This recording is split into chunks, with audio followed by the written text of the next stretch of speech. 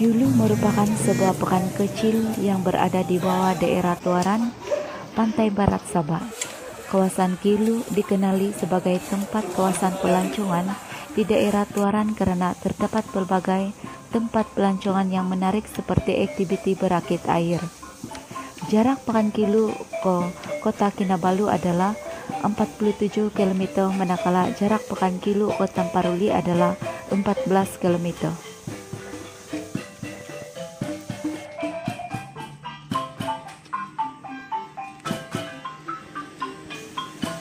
Berkunjunglah ke Pekan Kilu.